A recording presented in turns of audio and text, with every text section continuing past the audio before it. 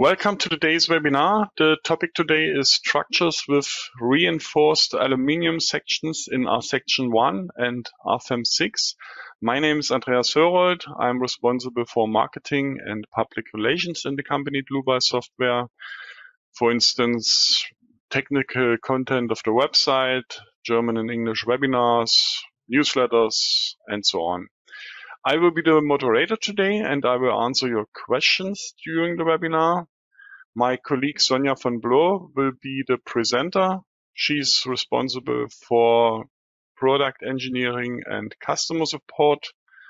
Yeah, and she's the main responsible person for the add-on aluminium design and also for RSECTION. Okay, then I say something how you can ask questions. At first I switch off my webcam that you can see the full screen. You can press that button with the question mark and then you can enter your question here, press send and I will receive your question and I will answer you. Okay, that's all from my side. I hand over to Sonja. Sonja, it's your turn. Thank you, Andreas, for the introductory words. I would also like to welcome you to today's webinar. The topic of this webinar is the modeling of structures with reinforced aluminum cross sections. The reinforcement can be made of steel or aluminum. There are several options for creating these reinforcements. The aluminum cross-section including reinforcement can be created as one cross-section in RSECTION. Another option is to model two separate members in RFEM or RSTAB with the respective aluminum or steel cross-section. I will first show the modeling of the aluminum cross-section, including reinforcement in RSECTION. And um, afterwards, I create the structure in RFEM. In the process, I will also explain how to change RSECTION cross-sections from RFEM. I then model the structure with two separate members using line releases in RFEM. I will then show an alternative modeling of the two separate members using nodal releases in RFEM. This option is also available in RSTAB, while line releases are not available in RSTAB. Finally, I will talk about new useful um, features. This uh, brings me to the first point, the modeling of the aluminum cross-section, including reinforcements in RSECTION. The cross-section geometry is available in DXF format so that I can use the import function. The creation of cross-sections based on DXF files was the subject of a previous RSECTION webinar. You can find this webinar on our website or on YouTube. There's also a knowledge base article on this topic on our website. I start the import uh, process via file import DXF. Then I choose the corresponding DXF file and click on open. In the import dialog, I select the option create DXF template for further editing. And then I click on OK. Now the lines of the DXF files will be created in RSECTION. I first create the part using um, the function select boundary. Here I have to define uh, the material. I want to use um, this material that's already chosen here in this uh, box. Then I click on OK and then I click on the corresponding line. The part is now created. Now I have to create um, the uh, opening. For this, I select also the function that's available for um, openings to uh, select boundary. And then I click on the corresponding line. I then deactivate the display of the parts and openings um, to get a better overview. I uh, then create the elements necessary for the classification and calculation of the effective cross-section. To do this, I only model a quarter of the cross-section and I then create the other parts by mirroring. To do this, I use the set centerlines function. I find um, this function here uh, in this uh, part all I have to do is uh, click on the two parallel lines. The center line is then generated automatically. First, I create the center lines uh, for the flange, then for the arc, and then for the web. The center lines then need to be extended. For this, I use the function extend graphically. Clicking on the left side of the line to be extended extends the line to the left. Otherwise, to the right until it intersects with the uh, next line. I will extend here this line to the left. And I want also extend the center line of the web on both uh, sides. Since I only want to model a quarter of the cross section, I trim the center lines accordingly. To do this, I use a function that I find uh, here um, that's called uh, to location. This function makes it possible to extend or shorten a line to a speci specific location. I trim the center lines of the flange and the web to the center of the cross section. To do this, I select these two lines and then I click on OK. I then have to specify the side of the line to be modified. The direction of the lines is shown on the working area. I have to shorten the end of the line, so I choose um, this in this uh, list box. Uh, then um, I have to define the location in this part here. I choose the zero point here and then I click on OK. Then the center line of the arc has to be connected to that of the web. And I make this connection with a straight line. For this, I create here a new line. And I connect it here. I don't need um, this line here, so I uh, delete it. Now this line is not divided at this point, but this is necessary that it's divided because um, elements are only connected if they share the same node for this reason, I divide um, this line in uh, this location. To do this, I use the function uh, connect lines and elements. And I draw a window about this part. And now the line is uh, divided in this point. I can now create the elements using the create elements online function. I find this function here, create elements online. All I have to do um, is to select the corresponding lines. I select all the center lines.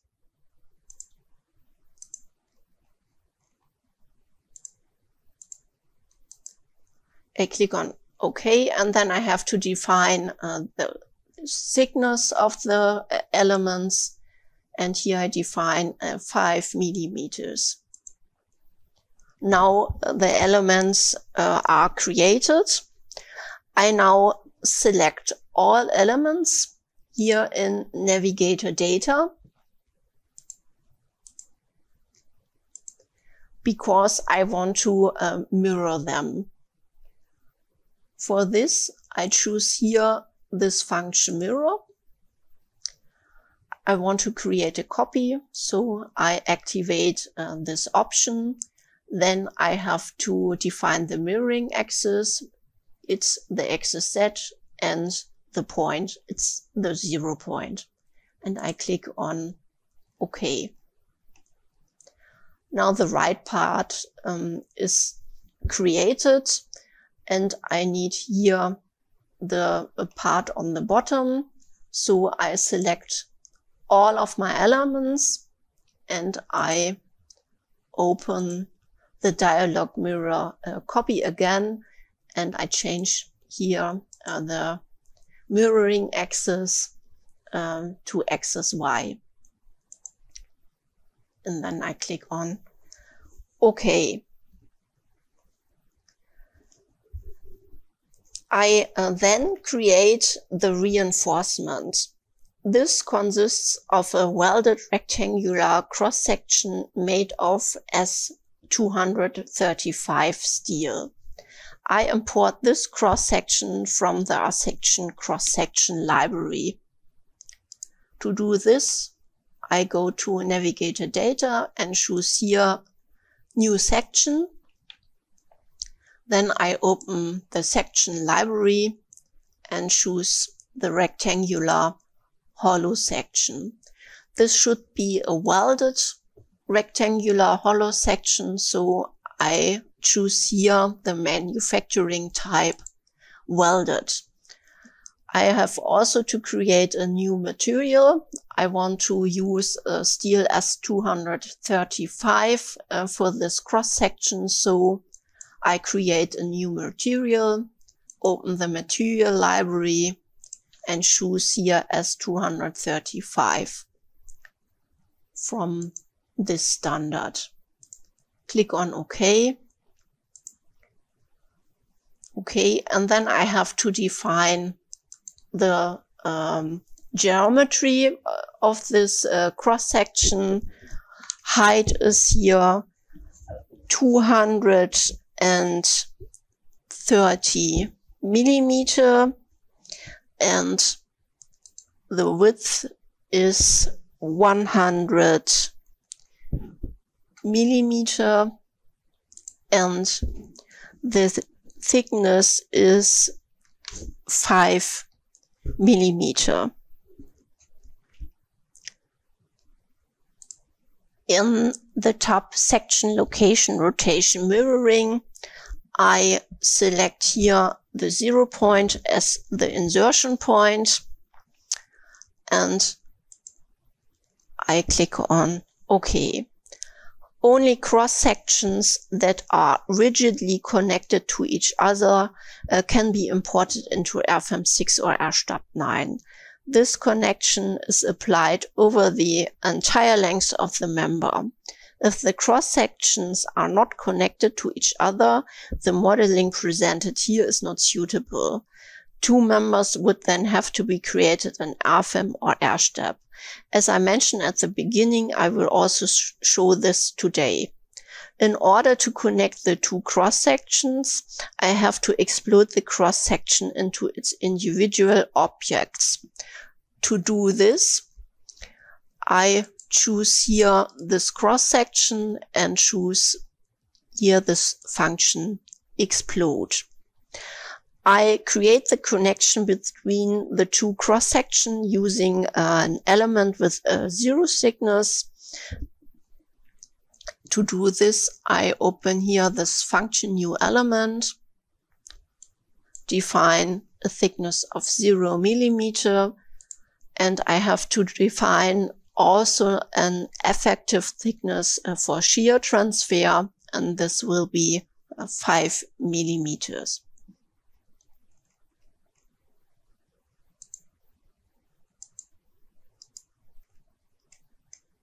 Then I create the two elements.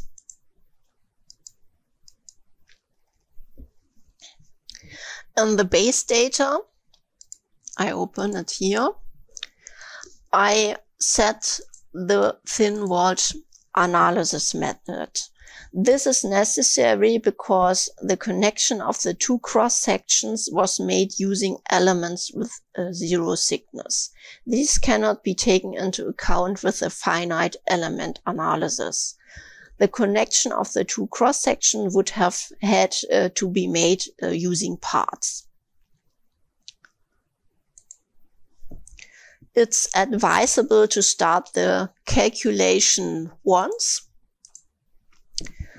in order to find possible modeling errors. Here, no errors um, will be found, so um, I save now uh, this cross section. I name it here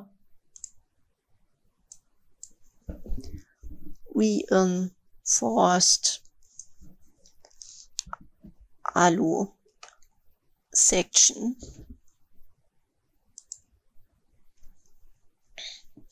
then I can close this uh, cross section. Mm. The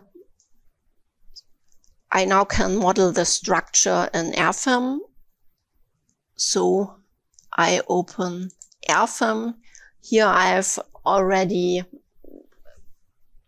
created a new file and I have to import first the aluminum cross section with uh, the reinforce the reinforcement that I've just created.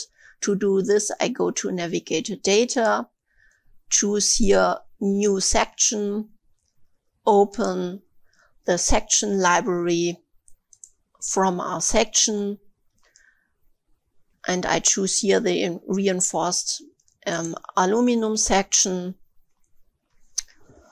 uh, I still need this cross section without uh, reinforcements.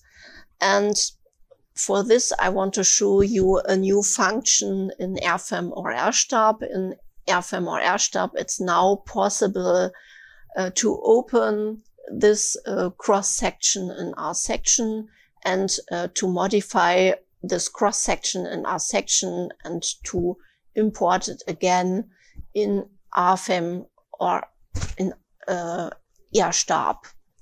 To do this, I copy this cross section and then I open this cross section in RSECTION.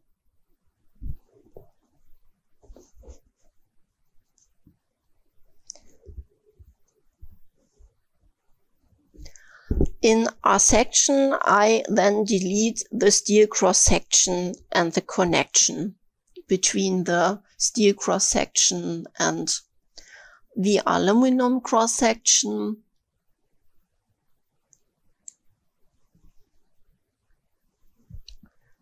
Then I start the calculation again to see if there are any errors. There are no errors.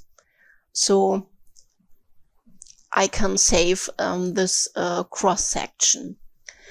I want to save this cross section also on um, my disk. So I choose here file save as and I change the name to alu section and then I save this uh, section on my disk. Then I uh, save this section. I go to save and return to RFEM.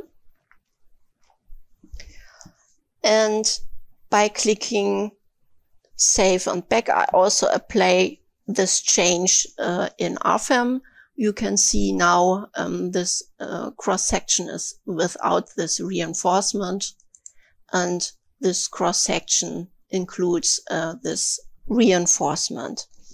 If I had just clicked save and back, only the cross section would have been changed in RFEM, but the original status of the cross section would have been left on the hard drive. Then I click here on OK. I then model the column with the unreinforced aluminum cross section.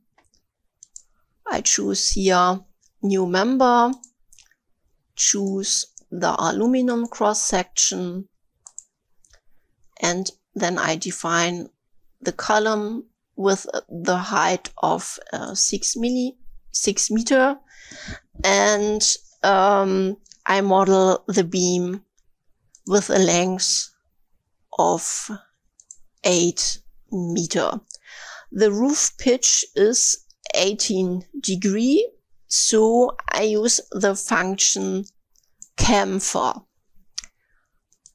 I find this functions in um, function in uh, menu edit, manipulation, chamfer. Here I have um, to define the angle, the rotation angle of 18 degree. And I have to define the rotation axis. This is the axis Y and the rotation direction. And this is the direction Z. Then I choose the frame corner as the rotation point. Now the beam is rotated by 18 degree. The frame corner is reinforced with a steel over length of half a meter. I therefore divide the column with this functions um, by distance. And here I define a length of uh, 0.5 meter. Apply this and I have to do this also for the beam.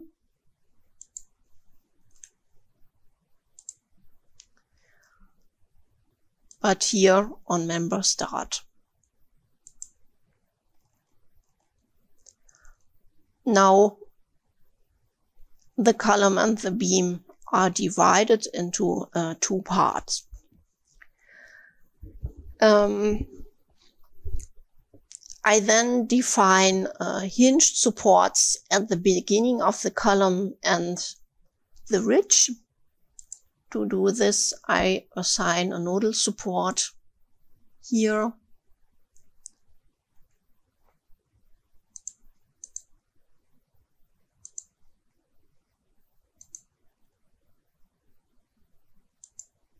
on the column and on the ridge. Since I want to show different modeling options today, I copy the frame uh, twice.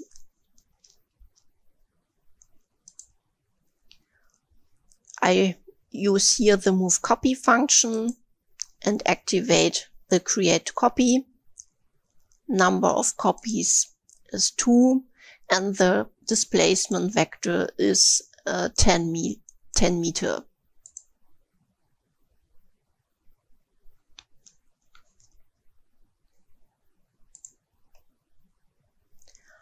First, I will show the modeling of the reinforced frame corner with the aluminum cross section and reinforcement that I just created in RSECTION. To do this, I only have to change the cross section on the frame corner. I choose here the two members,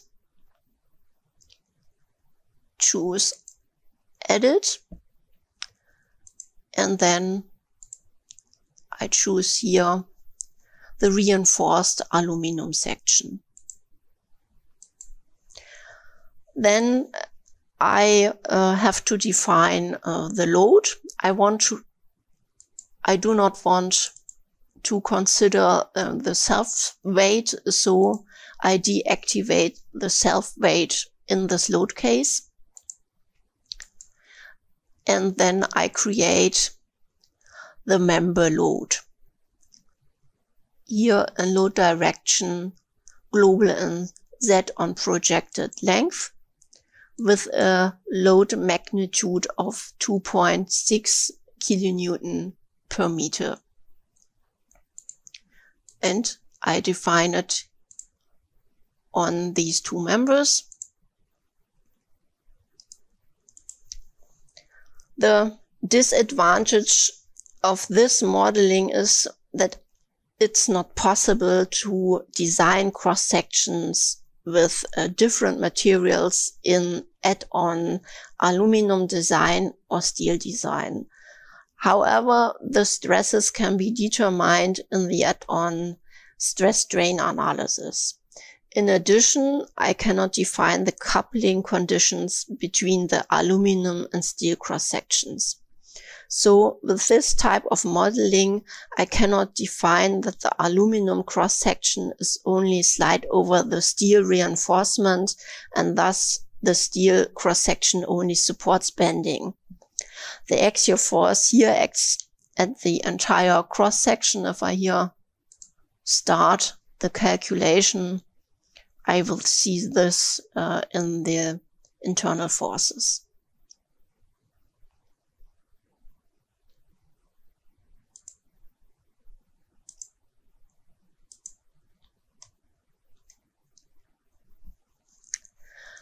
However, both mentioned disadvantages uh, can be avoided by modeling two members.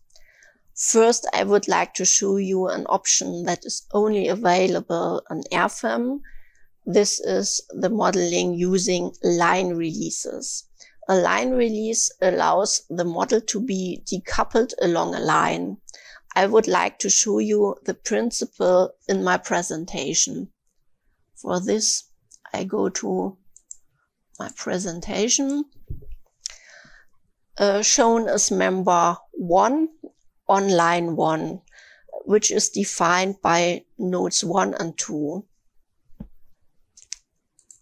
First, I have to select the line on which the line release is to be defined. Furthermore, the properties of the line release must be defined this definition is made in the line release type. The property of the line release are described by a hinge. The line releases uh, create nodes 3 and 4 as well as line 2, which is defined via these nodes. The generated released objects are output in the release generation part here. The lines are coupled along their length using the hinge condition defined in the line release type. This is indicated by the coupling um, bars uh, shown on the graphic. The position of the line hinge can be defined in the section release generation 2. Um, it can be defined on the original line or on, or on the released line. This is defined here on, on the original line. In this example, this is the line one. The released line is automatically created with the corresponding nodes as a copy. However, if you want to use one or more existing nodes for the generated line, you can specify the corresponding node numbers in the section definition objects. This affects the results because the displacements at these nodes are not released. So for this, if, so for example, if you define nodes one and two, is here on this example as definition nodes. The released line is defined using the original nodes one and two. I can now define the member uh, on line two and then specify it as a released object. This is this member number two. I would now like to show you the modeling in RFEM. For this, I go back to RFEM.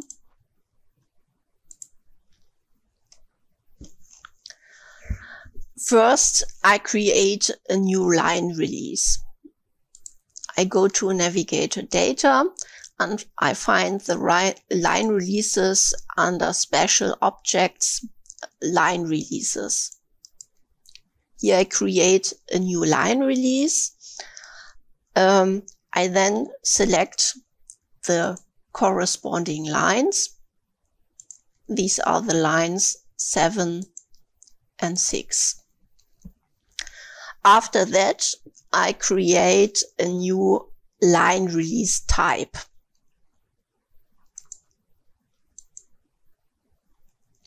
The displacement in the X direction should be released here. Click here on OK. And this line release uh, creates the line 13 and 14 on the release nodes 16 till 18. On lines 13 and 14, I open it here on the navigator data. I now define the reinforcement cross sections. To do this, I choose the two lines, click on edit, and I apply a member on uh, these lines. And I choose here, or I have to uh, create here a new uh, cross section um, and this should be uh, the welded uh, rectangular hollow section. To do this, I open the section library, choose here rectangular hollow section. This section should be welded, so I choose the manufacturing type welded and the material S235. Now I have to define the geometry. The height is 230 millimeter and the width is 100 millimeter and the thickness is 5 millimeter. Then I click here on OK.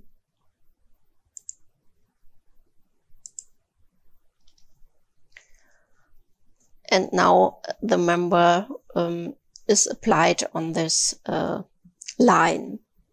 To ensure that the aluminum cross sections are all connected to one another, they must be defined using the original nodes. The steel cross sections must be defined using the released nodes. I control this using visibilities. For this, I go to the navigator views and first I will show here the um, steel cross sections.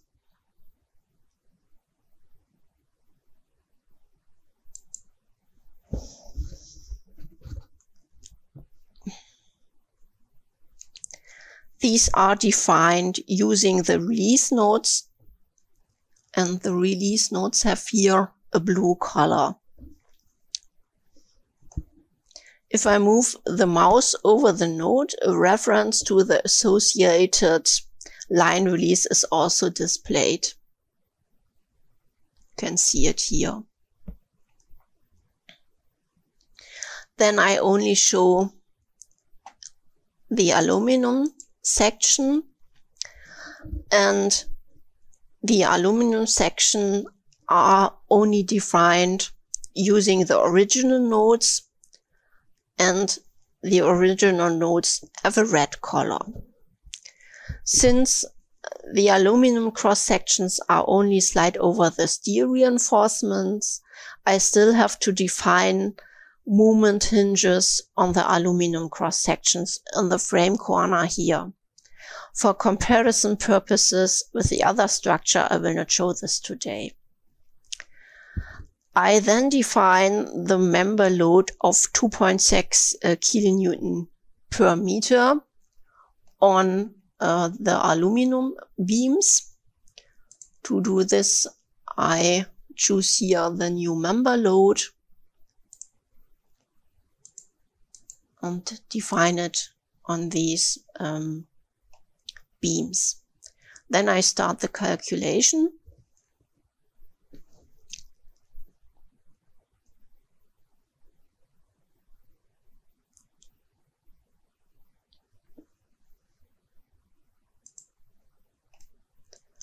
I first look at the axial forces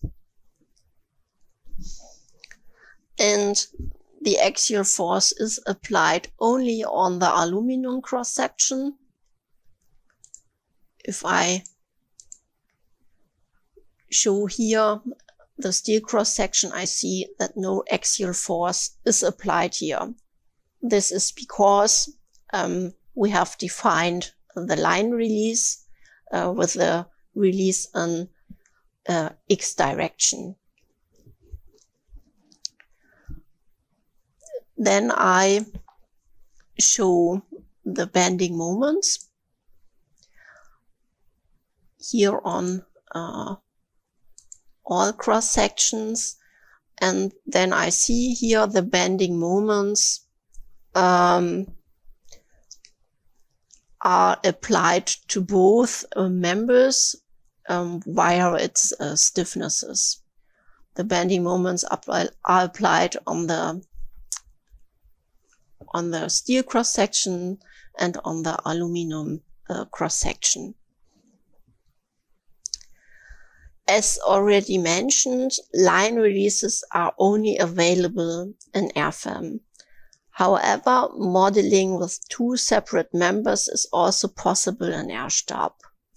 Nodal releases are available for this in RSTAB. You can also use nodal releases in RFEM. I would like to show you the principle in my presentation.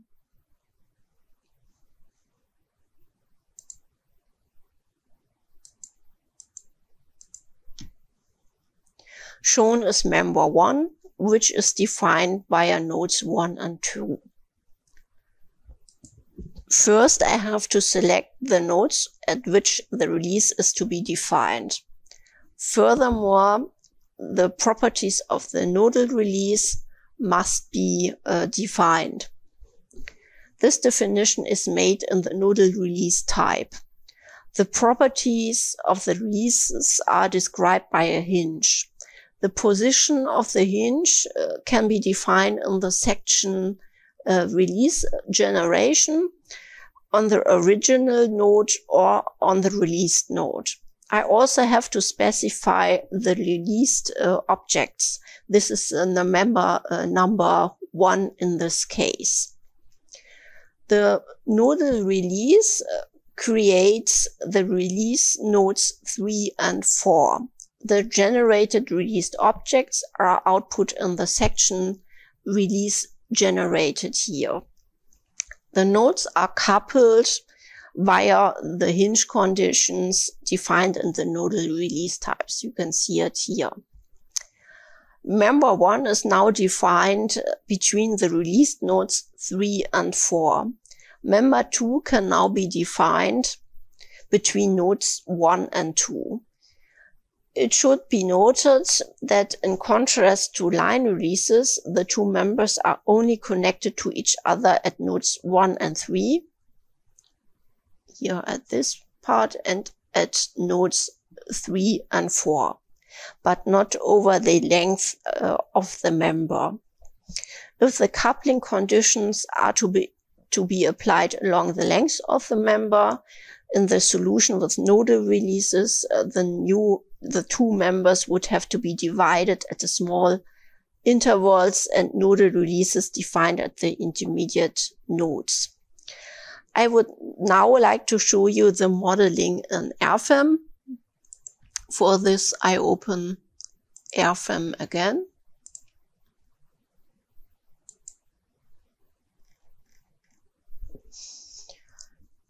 First, I have to create the new nodal release. I go here to the navigator data and I find the nodal releases here uh, under special objects and I create here a new uh, nodal release. Then I select the corresponding nodes. These are the nodes 14, 12, and 15. The nodal release type should be defined separately for each node because the reference axes are different. So I activate here this checkbox uh, define nodal release type for each node separately.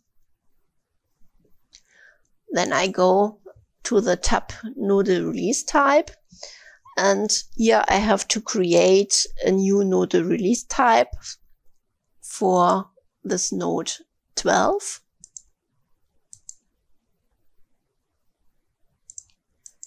And here, once again, the displacement in x direction should be released. Then I have to define the local axis system and I choose here the local axis system uh, from this member. This release uh, should be also used for node number 15.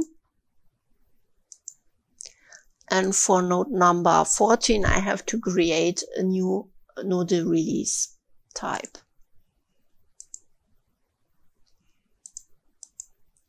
Release is also in X direction, but the member is here, the member number 9. Then I have to define the released objects. And these are the objects 11 and 10. The generated release nodes are uh, 19 till 21. Then I click on OK.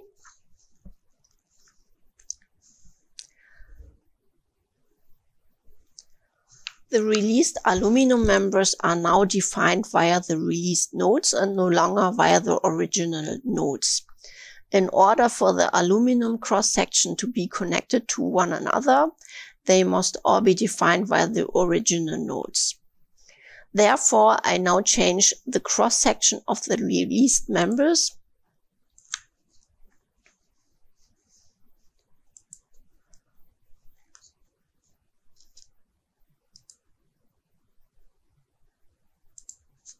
choose here edit to the steel cross section.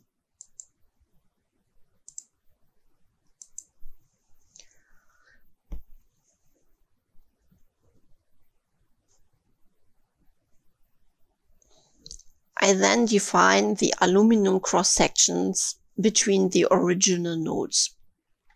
To do this, I open here the new member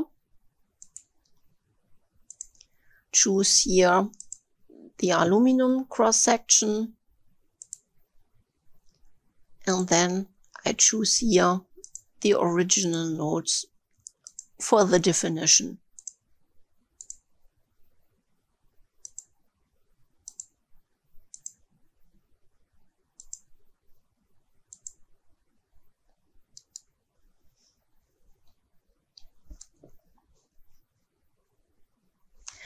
I check this again using the visibility.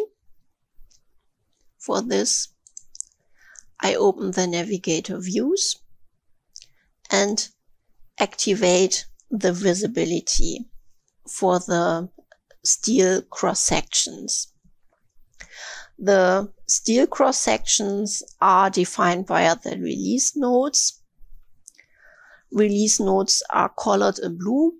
I can see it here. And if I move with the mouse over the node, I see um, this is a node created via a nodal release.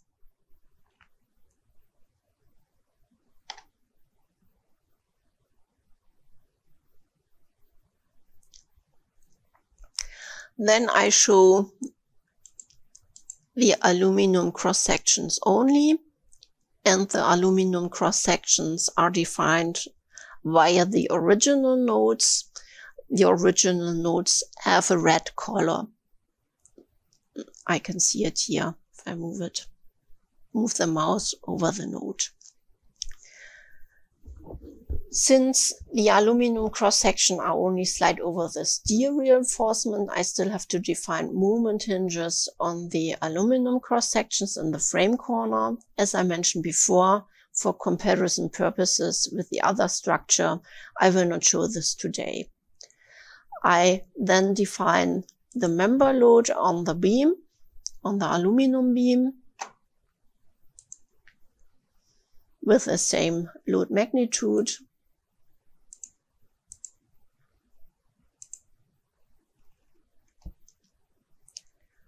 and then I start the calculation.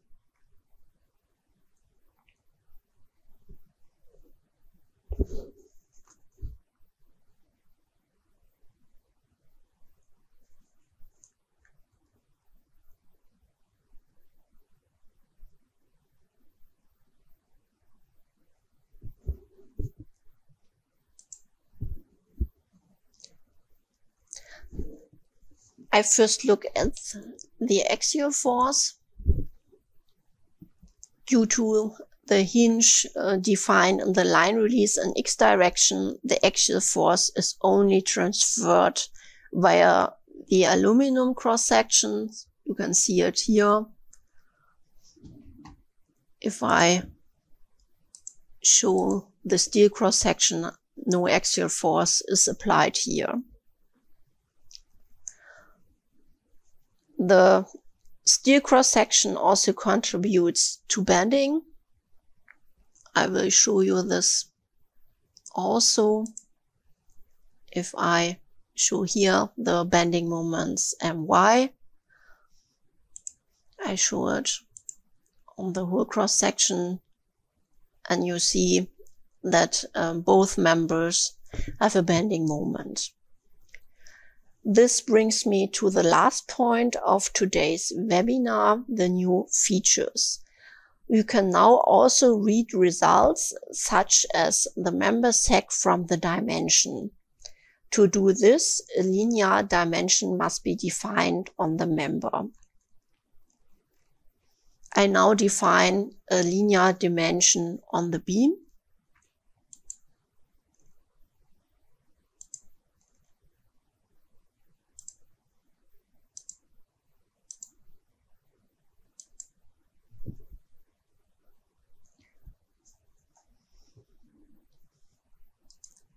And to see here also the results, I have to go to the navigator results and I have to activate under dimension the results on member. If I want to see the deformation, I activate here the global deformation and I see now the result here on the dimension related uh, to um, the uh, deformed system.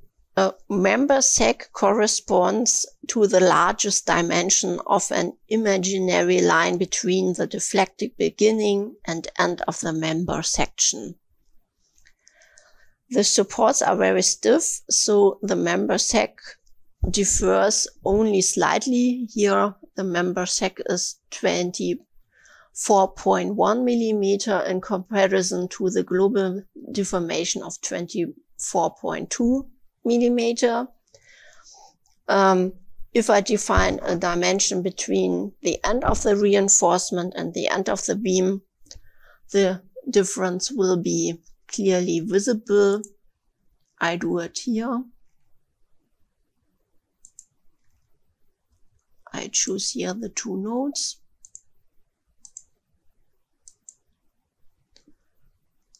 And you can see here the sec deformation is now 22.5 millimeter in comparison to 24.2 millimeter uh, for this section here. Another new function allows you to examine the stresses within members using clipping planes.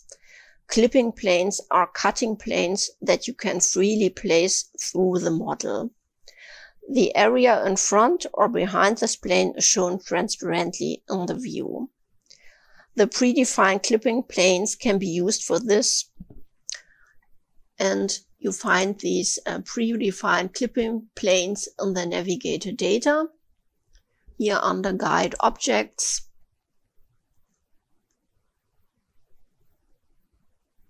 Clipping planes. And we have here um, three uh, predefined clipping planes. However, it's also possible to define user-defined clipping planes. I want to activate the uh, clipping plane, so I choose here clipping plane on. And I want to examine uh, the normal stresses here in the member. Therefore, I choose here the display of the stresses.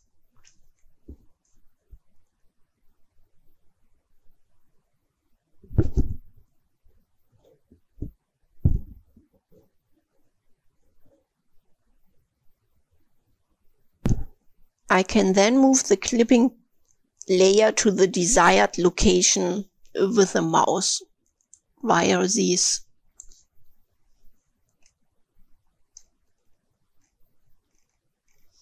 I can see now the stresses here in the cross section.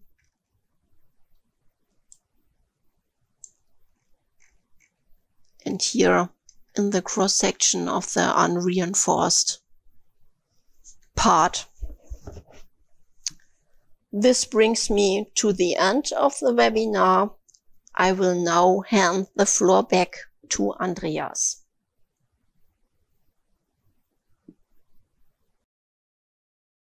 Thank you, Sonia, for your presentation. An additional hint from my side, you can book your free online appointment, such as a product demonstration of our add-ons or main programs. You can click on that link in the PowerPoint, or you can scan the QR code, uh, and then you will, or you can contact the sales team. You can download the PowerPoint slide from the webinar page. In the next days, you will get an email when the recording is online with a link to the webinar page and you will also get your attendee certificate. And on the webinar page is also the PowerPoint slide, model, yeah, and the recording. Okay, that should be also all from my side. Thank you for your attention. Thanks to Sonia for the nice presentation. I wish all a nice rest of the day and say bye bye.